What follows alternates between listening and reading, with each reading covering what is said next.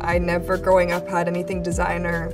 You know, my mom wouldn't let me. I think I got my first pair of Louboutins when I graduated high school. After about a year and a half living in her Manhattan penthouse, Bella Hadid is moving once again. It was reported that she just sold her 2,000 square foot crib for $6.5 million after it was only a week on the market. The upscale unit boasted features like a rooftop deck and an industrial vibe with exposed ductwork, metal columns, and more. It's not clear where Bella's moving to next, but she also spends a lot of time on her family's Pennsylvania farm when she's not traveling the globe. Today we're gonna see where the supermodel calls home. In these videos, we don't reveal any addresses, and even though I've done a house tour of my own place, please do not show up at any private residences because it's not safe for anyone. Bella Hadid is a model who also grew up in the spotlight. Her family was a fixture on the reality series The Real Housewives of Beverly Hills, where we first got introduced to Bella and her sister Gigi as kids. These days, Bella is signing contracts and modeling for big brands, living out in New York City with an estimated net worth of about $25 million or more. Forbes has even named her as one of the world's highest paid models out there. Hey guys, it's Kara the Vampire Slayer back with another exclusive house tour here on Famous Entertainment,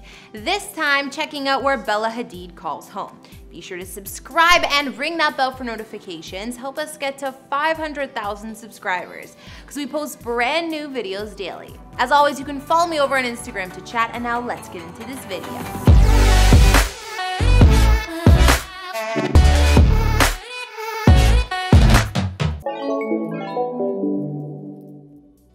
In recent news, Bella's New York City penthouse sold after only about a week on the market. She actually listed the unit, located in the Soho neighborhood of Manhattan in spring of this year, for $6.5 million after quietly purchasing it at the end of 2019 for $6.1 million. Bella lived here for a while, even though she spends a lot of time at her mother Yolanda Hadid's farm in Pennsylvania, which is where she also spent most of the pandemic.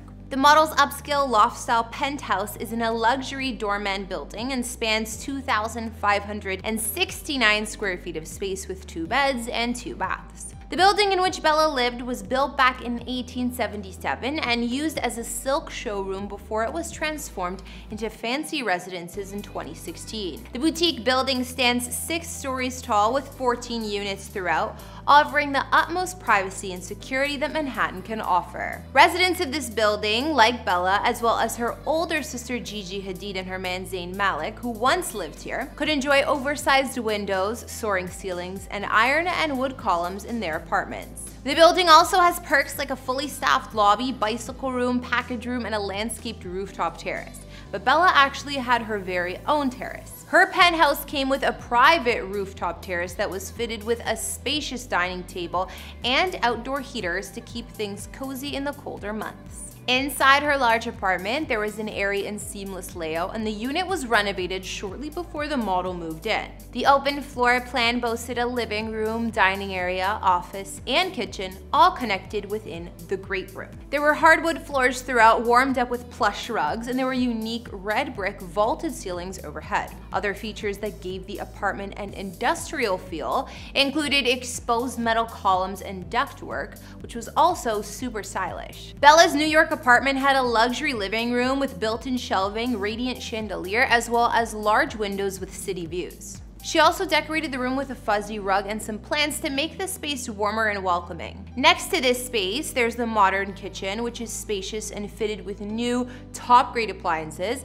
as well as a massive center island made of black marble, which waterfalls off the sides. There's also an upper level in the loft-like unit and underneath the stairs, you'll find the convenient 100 bottle backlit wine cave next to the dining area. Moving to the master suite upstairs, Bella's bedroom was spacious as you might expect and offered the same red brick ceilings and hardwood floors as the main floor. There were oversized windows, a walk-in closet with custom glass shoe display, and a luxe ensuite. Her attached bath had a floating his and her sink along with vintage bronze fixtures and a large glass walk-in shower. I can also see a very cute rug in this bathroom too. The second bedroom is obviously not as impressive and doesn't have its own ensuite, but it does have a custom closet at least. One of the major selling points for Bella's Manhattan penthouse has got to be that private rooftop deck because it's such a rarity in the city and it's surrounded by wood panels for even more privacy. The listing was held by million dollar listing New York star real estate agent Ryan Serhant, and clearly her home didn't stay available for very long at all. It's unclear where Bella has moved to for the time being since she's often jet setting across the globe, but she does spend plenty of time at her family's Pennsylvania farm. Bella actually spent most of the quarantine at her mother Yolanda Hadid's sprawling farm estate where the whole family is always welcome. The $4 million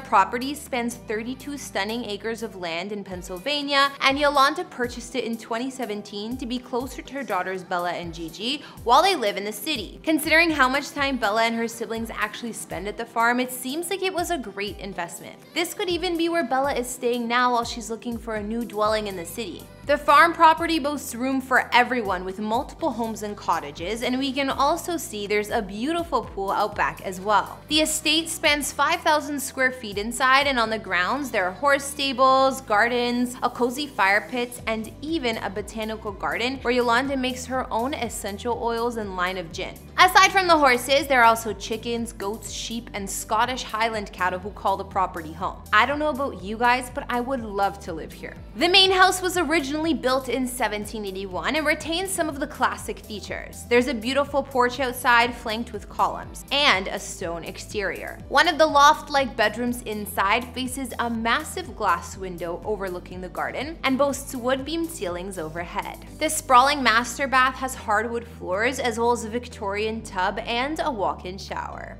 Downstairs, the double-height living room has exposed stone walls and rustic vintage furnishings, while the nearby kitchen is often used to cook family meals. There's a ton of natural light here and a dining nook within a full wall of windows. Bella's mom often invites friends and family over and hosts at a long wooden table outside when the weather permits. It also seems the farm allows the family to really enjoy time together in the peace and quiet, as well as the surrounding nature. Bella has been living in Manhattan for a while now, and prior to the penthouse she just sold, she lived in a cozier apartment as well as another penthouse she shared with her ex the Weeknd. The model once had an apartment in the East Village area of New York City when she was 20, and even a one bedroom apartment in her building would have cost around $1 million or more. After this, Bella moved in with her then boyfriend the Weeknd, upgrading to a 60k per month penthouse in the Tribeca neighborhood. This apartment spanned 5,000 square feet of space with four beds and four baths over three levels,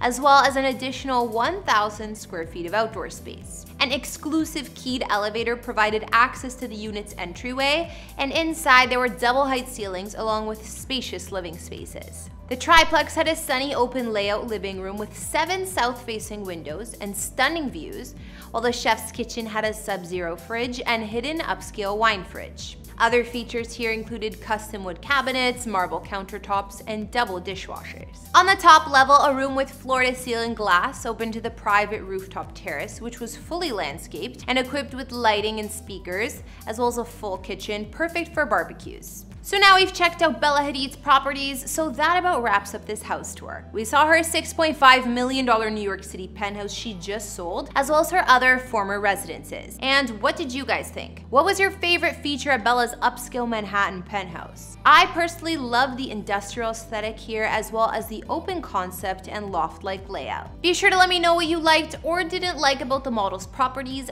down in the comments. Thanks for watching. Don't forget to follow me on Instagram if you want to chat, and I will see you all in the next video. Bye!